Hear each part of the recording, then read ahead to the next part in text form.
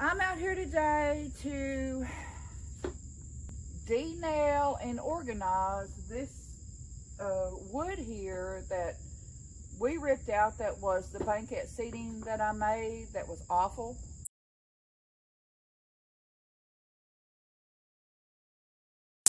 Uh, this originally was our baseboards in a big chunk of the house. And I'm now gonna rip the nails out, size it up, and I'm gonna make a bunch of signs.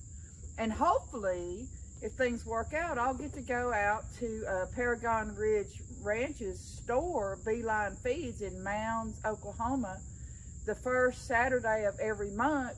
They have a a vendor sale, you pay and you set up out in their parking lot. She does have to approve what you take and sell. And so I'm going to try and get my stuff ready in time and hopefully we'll get to hit it in September.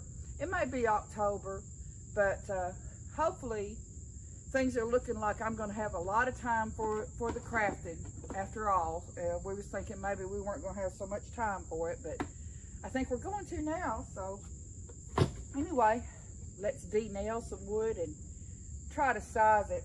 I know I'll have to, uh, you know, do a lot of cutting, but I had this old frame out here just going to waste, and so y'all remember this frame because I will repurpose it and use it, and it will go out to uh, Oklahoma as something because right now I'm going to try and get rid of everything I got laying around, get this place cleaned up, organized. We would like to, you know, downsize as we've talked about a million times and uh, we got a lot of fixing up to do and a lot of getting rid of junk to do. I'm not even going to start measuring. It's going to be an avalanche.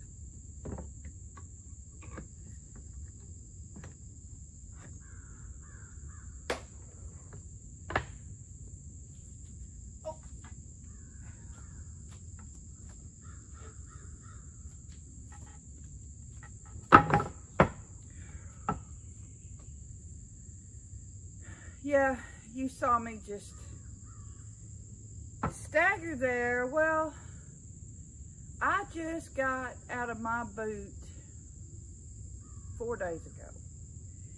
And the first, second day, I did so much, it swole up way past my shoe, my ankle.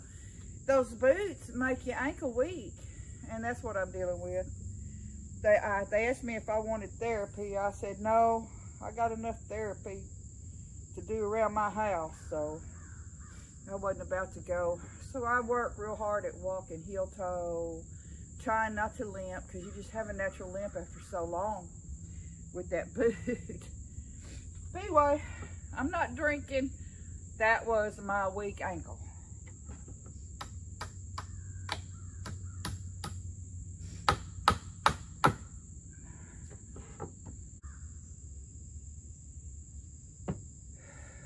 Yesterday, I just so happened to be walking through the house and I, there's a big window in the eating area and I looked out in the coat. He, he was right there at the fence.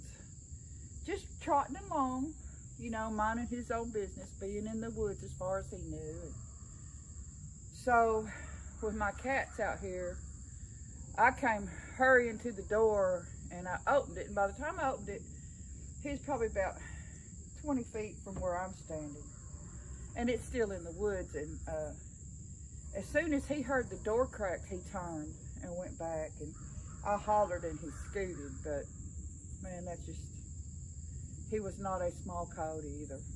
So I just heard something, but I got squirrel. I got some hawks out here. The other day, I was sitting in the window grinding some chicken meat because that's the only place I have at my grinder clamp onto the windowsill. I have to grind in a little bowl and then I dump it. But I'm sitting there and I saw a big bird come flying in and I watched and I couldn't tell what it was at first, but it landed, it was a red-tailed hawk. And he just reached down at the ground and pulled up a snake about that long.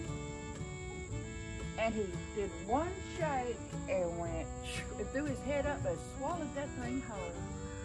And then it looked, I think it could sense me moving or something in the window. It looked and it took off, you know, did that squat, take off. But I'm like, thank you, I guess. I don't know what kind of snake it was, but thank you. Uh, hopefully it wasn't one of my king snakes. Cause I got like three or four, I know I got three variety of king snake out here.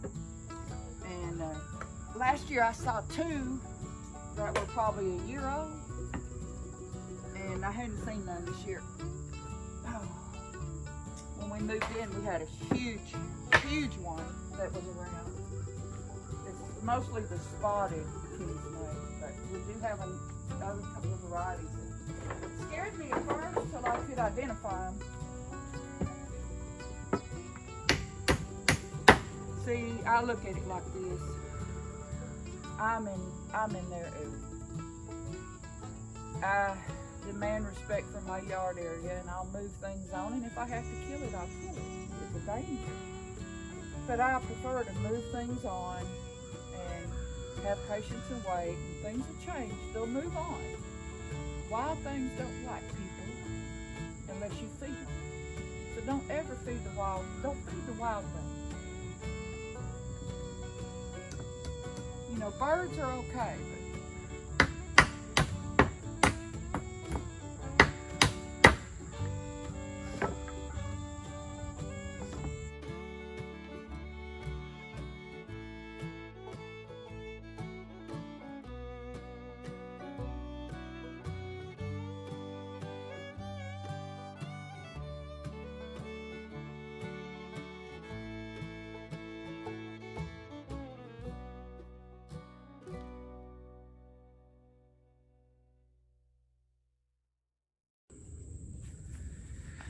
So, as y'all can see, oh Lord, look at my hair.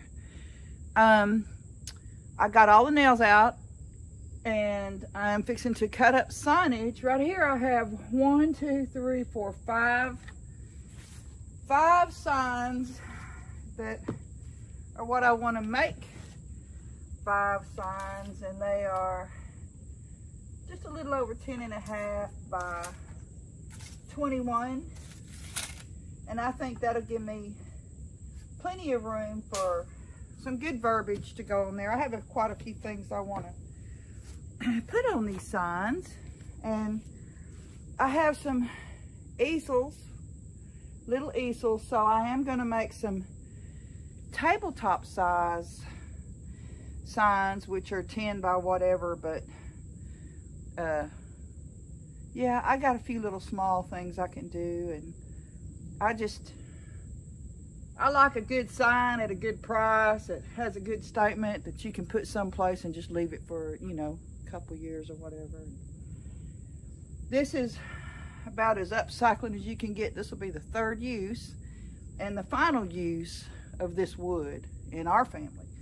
So, what I'm gonna do is just lay this down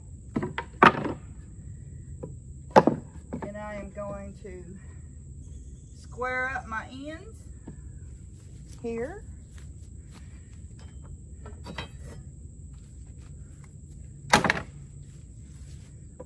Right here with my square. See, I got gook on here. So I'm going to spin it around. And I'm going to get these lined up on here. And then I'm going to flip it I'm gonna come up here.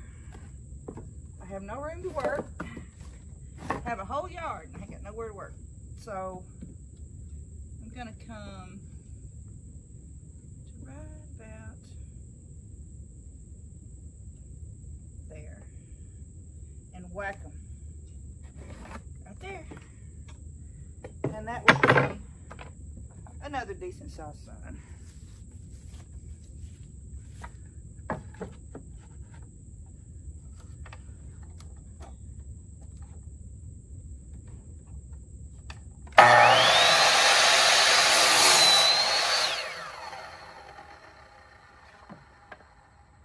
blade's not worth a flip.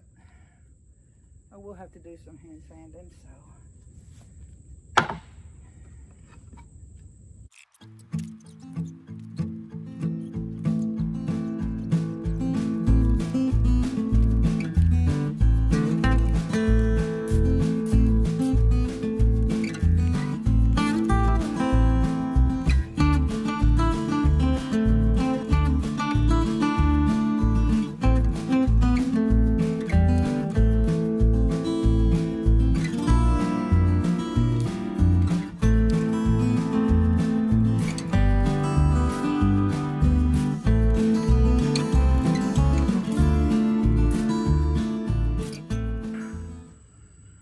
So it's almost 11.15 in the morning and it's not really hot. It's just so humid. You can't help but sweat and um, I'm making good headway. I just put my saw up because it's just, it's just hanging in the air. It should be raining. It's, it's not, but um, I got my wagon loaded down. I got my wood cut up for my signage. Uh, I still have this right here, which is um, big enough pieces that I, I've got some primitive table legs with the skirt. I may actually make a table. Uh, I really need a table with fold down legs, a nice primitive looking table to take to sales. Uh, I'm not going to be able to get a trailer hitch if they want an arm and a leg, and I'm not doing it. Sorry, I refuse to be sucked into the high prices that are going on right now. I can do without. So, what am I doing now, you might ask? Well, I'm going to make fall colors and paint pine cones because they're beautiful in glass jars or in a basket. Yeah, you'll see.